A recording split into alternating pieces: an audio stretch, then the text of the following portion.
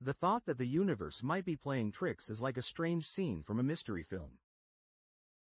What if all the knowledge we hold about the beginning of time, the birth of galaxies, and the laws that hold reality together is only a misunderstanding in this vast space? Right now, the James Webb Space Telescope, the greatest eye humanity has ever lifted toward the cosmos, is shaking the very fabric of what we thought was certain. Scientists are stunned, not simply because of glowing galaxies, but because the telescope is revealing contradictions that threaten the order of the scene we believed in.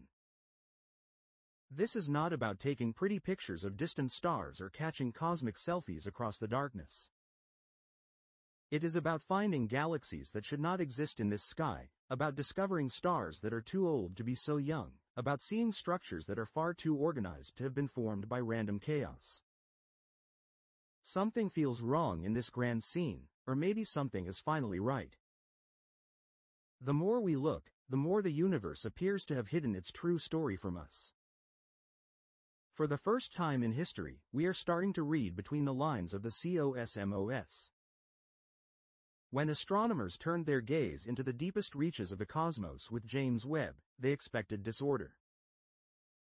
They imagined small, fragile, young galaxies struggling to ignite their first stars in the distant scene. But instead, they found colossal behemoths.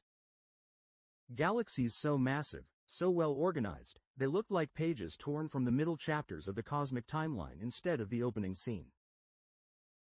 Some of these giants, like the famous MOM Z14, appeared only 280 million years after the Big Bang, which is barely a blink in universal time. Others may even be older, and that defies the entire story of creation. This was not just a surprise, it was a cosmic contradiction. These were not fragile clouds of GAS in the VOID. They were structured, spinning, glowing cities of stars like veterans of a long cosmic war. By all reasoning, they should not exist in this early scene. It was like expecting to find a newborn child but discovering an elder with a beard and wisdom in his eyes.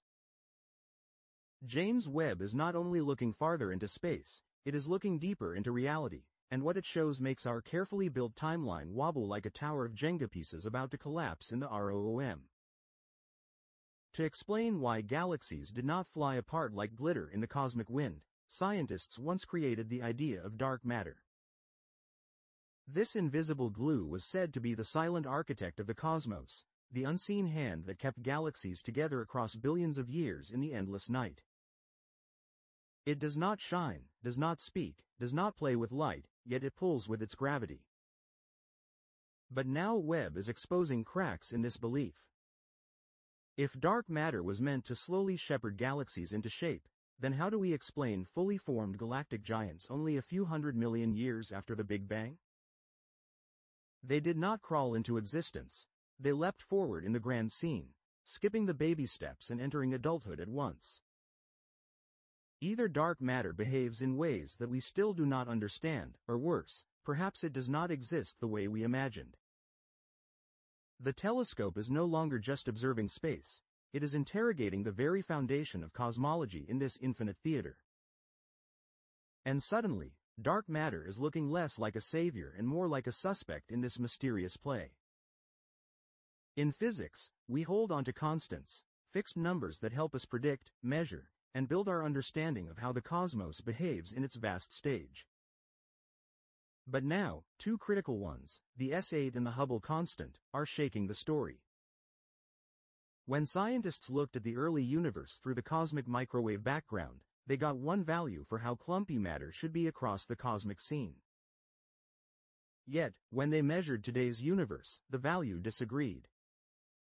That is the S8 tension, it is like measuring a child's height at age 5, then again at age 20, and realizing the numbers no longer match the expected chart. The Hubble constant, which tells us how fast the universe is expanding in this great scene, is also misbehaving. Depending on whether we measure it in the past or the present, the numbers refuse to agree. This is not a small rounding error. The more data Webb gives us, the clearer it becomes. The universe is telling two different stories. As Webb reveals galaxies and structures never imagined before, another strange question rises in the field of physics, one tied not just to space, but to the act of observation itself. Quantum mechanics whispers that particles act differently when observed, like actors changing their lines once someone enters the room. Now Webb is detecting light that has traveled billions of years through space-time to reach our eyes. But the unsettling part is this. Those photons may only choose their path when they meet our detectors. Until then, the universe remains in a shadowy state of probability, like an unwritten scene waiting for a reader. This means the telescope is not just revealing the cosmos, it is collapsing it into reality. That is the mind-bending power of observation. Some physicists now argue that the universe may not even be fully real until it is observed, like a stage left in darkness until a spotlight shines. If so, then Webb is not just a viewer, it is an activator in the PLAY. What if the universe becomes more real the deeper we look? And what if some corners of it resist the spotlight of our cosmic gaze? In its deepest scans, James Webb has noticed something disturbing. A faint boundary where light dims unnaturally fast, as if colliding with a wall in the endless scene. This is not the fault of our technology, nor is it due to cosmic dust floating in the VOID. Something else is happening. Beyond that point, redshifts do not match our models. Some whisper of a cosmological horizon, while others suggest something far stranger that we are hitting an artificial limit, as though reality itself were programmed with edges. Could it be that we are inside a vast simulation, a chamber of controlled spacetime built like a stage? One physicist even described Webb's scans as bumping into the edges of the CODE. It is outrageous, but what if true? What if the discovery of James Webb is not a galaxy or nebula, but the edge of the rendered world?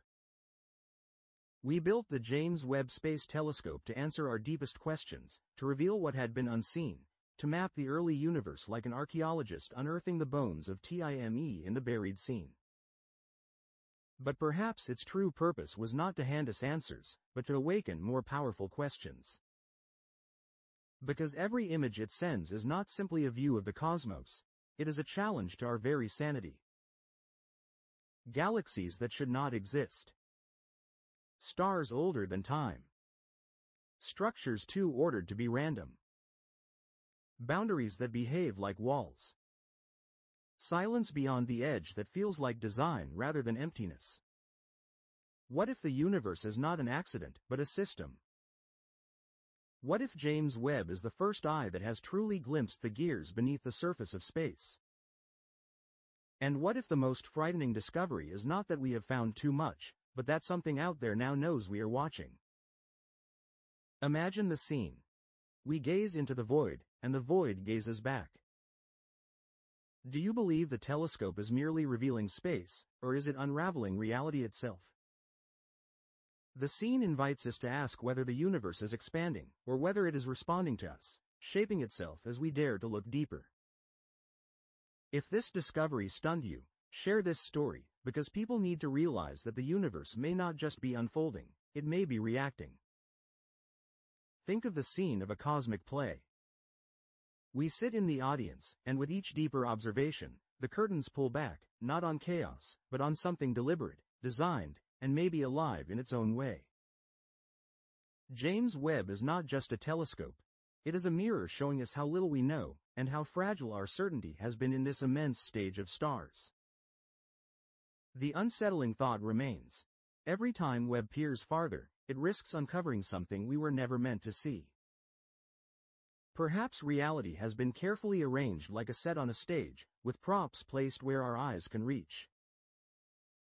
Perhaps beyond those faint walls of light, there is nothing, or worse, something watching from the other side of the curtain.